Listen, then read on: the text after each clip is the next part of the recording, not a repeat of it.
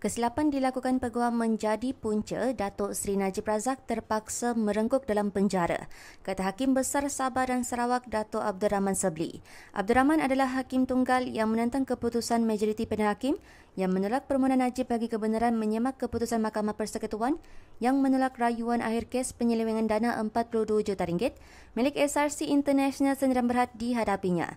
Keputusan itu dibuat empat panel hakim iaitu Hakim Mahkamah Persekutuan Datuk Vernon Ang Lamkiat, Datuk Rosaria Bujang, Hakim Datuk Nordin Hassan dan Hakim Mahkamah Rayuan Datuk Abu Bakar Jais.